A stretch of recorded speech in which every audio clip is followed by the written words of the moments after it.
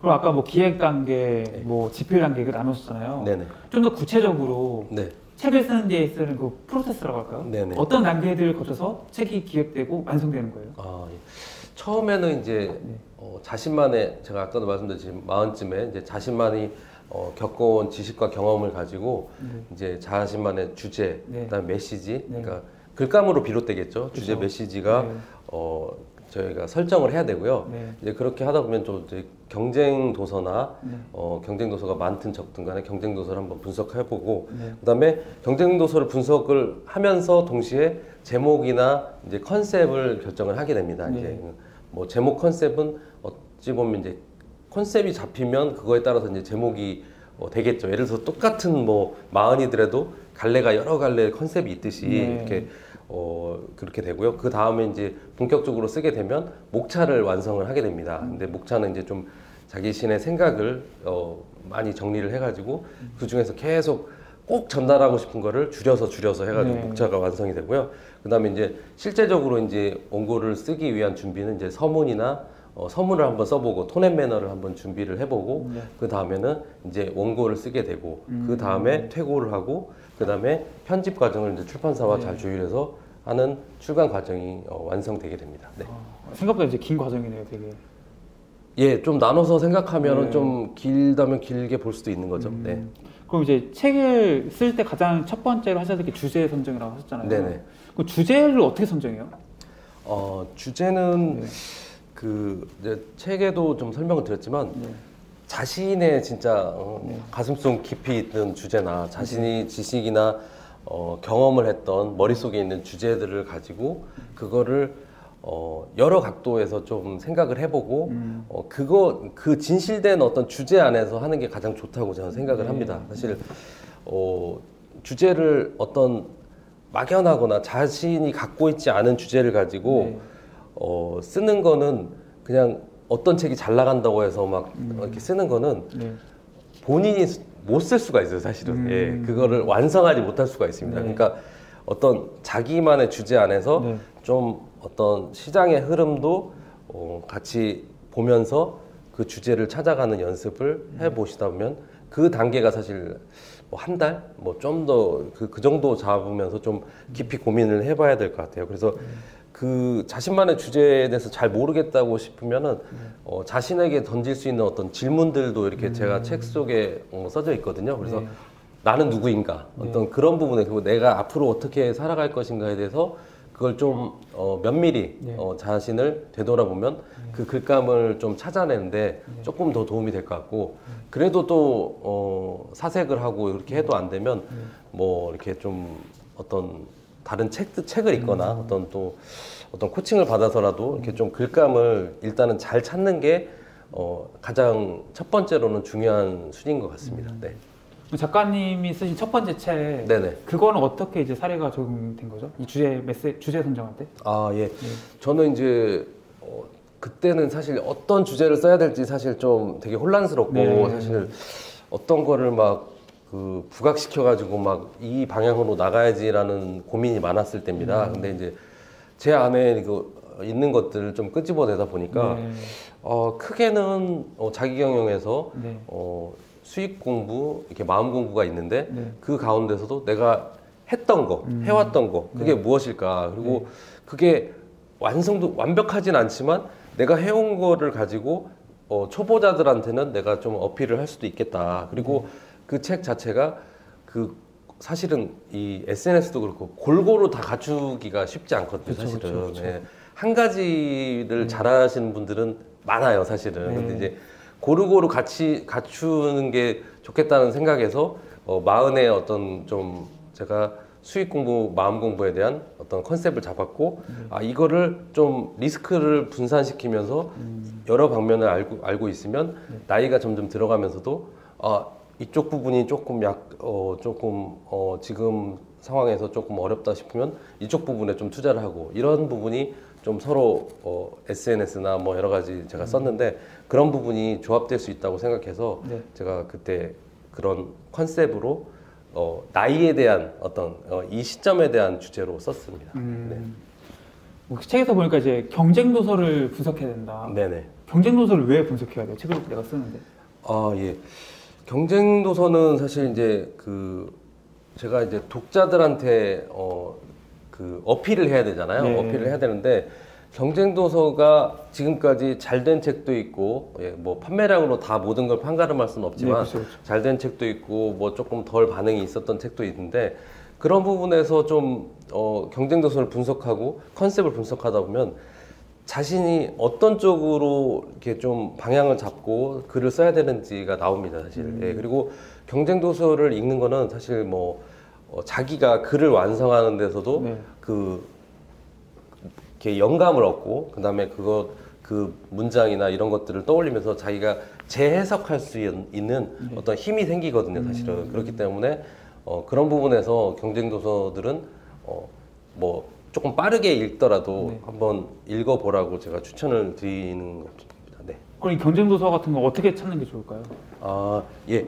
경쟁 도서는 사실 이제 제, 제 생각에는 뭐 이건 좀 생각이 다르실 네. 수도 있는데 그 핵심 키워드가 있잖아요. 예를 들어서 뭐 마흔이다 그러면 마흔에 관련된 키워드를 좀 여러분들이 뭐 검색을 해보시면 마흔에 관련돼서 쭉책 음. 네. 나올 것이고 예를 들어서 뭐 책 쓰기라고 하면은 책 쓰기에 대해서 또 책이 나올 겁니다. 그러면은 그런 부분에 대해서 핵심 키워드를 조사를 하고 그 다음에 좀 거기서 조금 벗어나는 주제도 분명히 있을 거예요. 뭐 네. 40대인데 40대가 아니라 뭐 30대라고 돼 있을 수도 있고 네. 그런 책들은 어떤 그 유사 도서라고 좀 분류를 해가지고 네. 그런 책들을 좀 자시 자신이 좀 흐름을 또 그 흐름을 한번 분석해 볼 필요가 있다 이렇게 음. 좀 말씀을 드리고 싶습니다. 네. 이제 그 책 쓰실 때 그 제목 정하는 거 네네. 별로 어렵지 않으셨어요? 어, 제목이 사실 네. 어떻게 보면 가장 고민되는 네. 부분이죠. 제목하고 사실 네. 어, 표지 디자인이 네. 사실 고민되는 부분이고 중요한 부분입니다. 아, 사실은. 네. 그 제목은 언제 정해진 거예요? 처음 글을 쓸 때 정하는 거예요? 아니면 마지막에 정하는 거예요? 제목은 네. 처음에 어느 정도 저자가 이제 그 결정을 하고 시작을 하는데 네.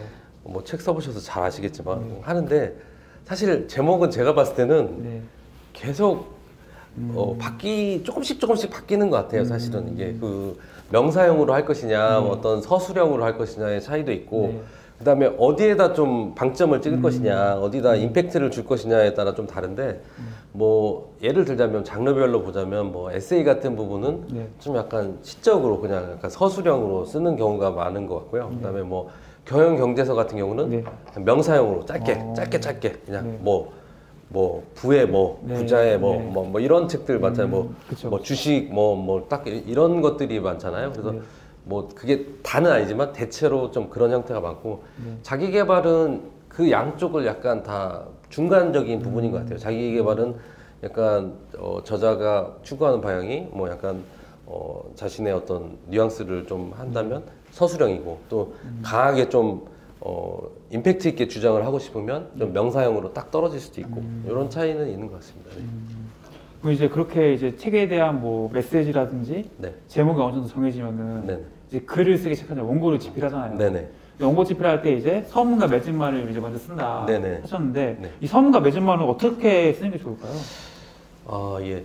서문하고 맺은 말은 서, 그 서문 같은 경우는 이제 처음 어떻게 보면 사람을 만났을 때 인사를 하는 거라고 생각하시면 네. 되거든요. 그래서 서문 같은 경우는 어, 조금은 뭐 가볍지만 어, 가볍지만 본문을 어떤 내용으로 앞으로 어, 본문이 펼쳐질 것이라는 내용을 좀 이야기를 하면서 내가 이 책을 쓰게 된 어떤 그 이유와 네. 어떤 어, 방향 그리고 또 어, 약간은 뭐또 감사의 어떤 뭐 인사 네. 뭐그 정도가 좀 섞여 있으면 좋을 것 같고 사실 서문은 어 제가 많은 책들 을 읽어봤지만 그 어떤 일정한 형태는 없는 것 같아요 사실은 음. 진짜 짧은 서문도 있고 두 네. 페이지짜리 짧은 서문도 있고 좀 길게 쓰신 분들은 진짜 뭐 서문이 언제 끝나는지 모르는 서문도 있더라고요 그러니까 근데 대체로는 한 한네 페이지 뭐 그 정도가 가장 적절하지 않을까 이렇게 아. 생각을 하고 있습니다. 그리고 맺은말 같은 경우는 어, 쓰는 경우도 있고 안 쓰는 경우도 사실 좀 있고 어, 한데 네. 추천사나 그러니까 이런 경우로 이제 대체하는 경우도 있고 한데 음. 어, 그거는 이제 맺은말 같은 경우는 좀 자신이 앞으로 어, 어떻게 활동할 것인지 네. 아니면 뭐 독자들이 어떻게 이거를 좀 읽어주셔서 감사하다든지 아니면 앞으로 좀 이 책을 읽음으로써 좀 어, 독자분들에게 당부드리고 싶은 말씀 뭐 이런 것들을 좀 적으면 좋을 것 같아요. 네네. 그럼 내가 만약에 뭐 책 뭐 제목도 했고 네. 뭐 서문도 다 쓰고 이제 그 글의 본문이라고 할까요? 그거 다 썼어요. 예를 들어서. 네네. 그럼 이제 이걸 어떻게 해요? 이게 다 쓰는 이제 글이 있는 거죠, 일종. 네네. 그 다음에 해야 될 건 어떤 게 있을까요? 어 이제 다 썼으면 일단 박수를 쳐드리고 싶고요. 네. 네네. 다 쓰기 되게 쉽지 않죠, 근데. 어 쉽지 않죠. 아. 네네네. 출간 기획서를 이제 해야 됩니다. 출간, 출간 기획서. 기획서. 네네네. 네. 그러니까 그 어떻게 보면 이게 상품이잖아요. 책이 네. 상품인데 네, 그렇죠. 상품을 이제 제안을 해야죠. 이제 어. 살 사람이 있어야 되는 거잖아요. 네. 예. 그래서 이제 그 출간 기, 기획서, 출간 제안서를 네. 어, 좀 베테랑이시거나 조금 몇번 써보신 분들은 처음에 제안을 할 수도 있습니다. 네, 그래서 네. 출판사에. 근데 네. 이제 일반적으로 초보 저자님들은 사실은 음. 처음에 제안을 하기가 어렵죠. 왜냐하면 자기가 보여줄 게 없기 때문에. 출판사에 하는 거죠? 예, 예. 예. 그렇기 때문에 처음에는 할래야 할 수가 없을 거예요. 뭐 지인이 출판사에 계시지 않는 음. 네, 이상은. 네. 그래서 완성을 한 다음에 네. 이제 그거에서 제일 좀 잘된 어, 꼭지라고 흔히들 많이 말씀하시는데 네. 잘된 어떤 그 목차들을 잘 뽑아가지고 네. 어, 몇 개 정도 한 대, 다섯 개 여섯 개 정도를 네. 어, 기획안을 가지고 네. 음, 출판사에 이제 보내게 됩니다. 근데 이제 음. 출간 기획서에는 어, 자신만의 어떤 그 차별점, 네. 그다음에 경쟁력인 어떤 게 경쟁력이 있는지 그리고 작가가 어떤 방향으로 생각을 하고 있고 음. 활동할 것인지 이런 것이 가장 좀 중요한 포인트라고 저는 생각을 하고 있습니다. 네네. 그럼 이 내가 쓴 글에다가 네. 출간 기획서를 작성해서 네네. 그 출판사로 메일을 보낸다는 네네네. 네. 그럼 이 출간 기획서는 어떻게 써야 되는 거예요? 잘 써야죠. 네. 아, 출간 출간 네. 기획서는 예, 일단 좀 어, 출판사의 역지사지 입장으로 출판사의 입장에서 볼때 네. 어, 어떻게 생각할까? 내가 상품을 구매하는 사람이라면 네, 네. 어떻게 이 상품을 어, 이건 잘 포장돼 있고 진짜 뭐, 뭐 내용물도 물론 좋아야겠지만 잘 포장돼서 하는 게 그 꼭지를 보내는 건 내용물이고 출간 기획서는 어떤 포장이잖아요. 음. 그쵸, 네, 그래서 그 상대방 입장에서 출판사 담당자 입장에서 볼 때 아, 이 책을 하면은 좀 잘 될 수 있을 것 같고 어, 뭐 짧은 기간이든 뭐 좀 길게 보든 간에 음. 좀잘 될 수 있을 것 같고 좀 어, 이 책이 좀 좋은 원고인 것 같다라는 느낌을 줘야 되고요. 네. 그다음에 그렇게 되려면 가장 중요한 거는 특히 처음 쓰시는 분들은 네.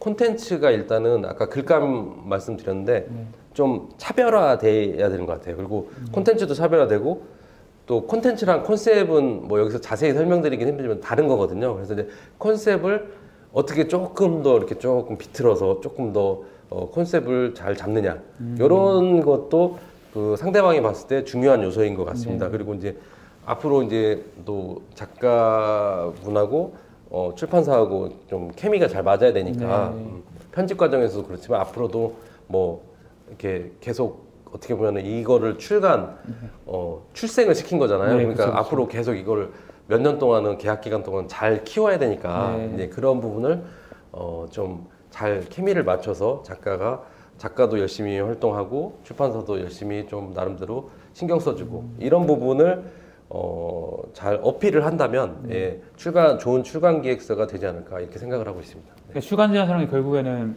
내 책을 내주세요라고 이제 뭐 편집자나 출판사를 설, 설득하는 과정이군요. 이제. 네네 그렇죠. 음, 그럼 이제 이렇게 출간 기획서 써서 원고랑 보내면은 네. 많이 되나요? 그러니까 출판사에서 책 내자고 막 하는 거예요? 아니면은 확률이 굉장히 낮나요? 이게? 네, 뭐 저보다 더 잘 아시겠지만, 네, 그 출판사 이제 담당자분하고 저는 이제 좀 미팅할 기회가 좀 많이 있었는데 네. 미팅을 하다 보니까 어, 이메일이 많이 들어온다고 합니다. 네. 근데 이메일 들어오는 것 중에 거의 제목만 보고 그냥 안 보시는 확률이 음, 음, 뭐 그걸 확률로 꼭 말씀드릴 수는 없지만 한 90% 정도는 그렇다고 들었습니다. 네. 거의 안- 거의 안 거의 안 보신다고 하루에 뭐 50개가 온다 그러면 네. 뭐한 다섯 개 보고 나머지는 거의 네. 안 보신다고 음, 너무 상처받으실까봐 지금. 예. 네. 근데 그렇다고 들었어요. 근데 이제 네. 어떻게 보면 또 저자분들도 복수로 지원하기 때문에 그쵸, 그럴 그런 것도 어떻게 보면 서로 네. 이해를 해야 된다고 생각을 해요. 네. 이게 출판사분 입장에서는 네. 그거를 좀 이제 어, 시간도 바쁘고 사실 지금 네. 계속 그게 출간이 되고 있는 상황이고 진행되고 있는 상황이 되고 또 기존에 또 출간된 책들도 많다 보니까 네. 그분들도 사실 모든 걸 다 신경 쓰기는 힘든 것 같더라고요. 근데 이제 결국은 이제 전략적으로 좀 네. 접근을 해야지 이게 어, 투고가 돼서 좀 성공을 하고 좀 네. 제 책이 좀 저와 좀 잘 맞는 출판사와 이렇게 할 수 있는 거지. 네. 그게 뭐 전략 없이 무턱대고 네. 이렇게 어, 나는 원고 내 나름대로 잘 썼는데 이거는 될 거야 좋은 네. 출판사에서 될 거야라고 하는 거는 일- 처음 쓰는 저자님들이 좀 음. 기대하기에는 네. 좀 어려운 것 같아요. 그런 면에서 저는 이제 좀 책 쓰기에 대한 책도 좀 읽어보시고 음. 어떤 특강이라도 있으면 특강이라도 정규강이 아니더라도 이렇게 들어보시라고 말씀드리고 싶은 게 어, 좀 그런 부분에서 좀 전략적으로 좀 접근을 해야 네. 본인이 좀 성공 확률이 조금이라도 더 높아지지 않을까 네. 뭐 이렇게 생각을 합니다. 그리고 한 가지 덧붙여서 말씀드리자면 네. 어, 대형 출판사나 이런 분들은 또 경쟁이 치열하더라고요. 제가 보니까 뭐 팀별로 막 1팀, 음. 네. 2팀별로 해가지고 그게 약간 뭐 서바이벌처럼 진짜 네. 경쟁이 치열하다 보니까 그 우리 옛날에 막 요즘에는 없어졌는지 모르니까 길거리 연예인 네. 캐스팅 있잖아요. 네, 예, 그거 캐스팅. 하는 것처럼 그 연예인이나 좀 영향력 있으신 음. 어떤 뭐 유튜버 분이나 어떤 그런 분들 뭐 아주 유, 유명하지 않던 그런 분들을 각 팀에서 막 이렇게 섭외해서 경쟁하는 형태이기 때문에 네. 일반인들이 초, 특히 초보 분들이 거기에 어, 뛰어들기는 사실 선택받기는 상당히 좀 어려운 현실적으로는 어려운 부분이죠. 그래서 좀더 네. 경쟁력을 높이고 전략적으로 접근하라는 말씀을 드리고 싶습니다. 예. 음. 작가님은 그러면은 몇, 몇 군데 투고해서 몇 군데 제안 받으신 거예요? 아 예. 요즘 뭐 출판사 리스트가 막 뭐 다들 많이 공유가 돼 있다고 네, 하더라고요. 네. 그래서 뭐, 뭐 사실 우리나라 출판사 여러분들이 실제로 몇 군데인지 알면 깜짝 놀라실 텐데 몇만 군데가 있다고 합니다. 어, 예. 예. 저도 그 얘기 듣고 깜짝 놀랐는데 네. 근데 그 리스트가 뭐 실제로 활발하게 있는 리스트들은 출판사 리스트는 뭐한 500개에서 1000개 사이지 않나 싶은데 저는 그렇게까지 많이 투고는 해보지 않았고요. 한, 네. 한 200개 정도? 200개 이내였던 것 같아요. 한 100, 100 몇 개 했던 것 같은데 네. 그렇게 하고 이제 투고를 하고 기다렸죠. 예, 네. 기다렸는데 뭐 저한테 연락 오는 데는 한 대여섯 군데서 어. 연락이 온 것 같아요. 근데 뭐 지금 생각해 보면 그것도 참 초보 저자였는데 네. 감사한 부분인 것 같아요, 사실은. 음. 예, 그거를 뭐 저를 좀 앞으로의 가능성을 좀 인정을 해주고 네. 원고에 대한 어떤 어, 가치를 인정받은 것 그렇죠, 같아가지고 네, 어, 기획 출간을 하게 돼가지고 되게 좋았던 것 같고 뭐 두 번째 책도 뭐 좀 사전에 제가 기획안을 제출해가지고 네. 좀 협의를 해서 네. 이렇게 투고를 했지만 어, 그 부분도 사실 그래도 음, 좀 제가 어, 저를 좀 믿어주고 좀 이렇게 어, 제 원고의 가능성 완성할 수 있다는 사실 초보 저자가 가장 큰 리스크가 원고 완성을 못할 수도 있다는 거거든요. 사실은. 그렇죠, 그렇죠. 예, 그래서 그 그런 부분을 좀 믿어줬다는 것이 어, 저한테는 뭐 두 출판사 모두에게 좀 감사한 부분이고 어, 저도 그런 부분은 좀 자부심으로 갖고 있습니다. 네.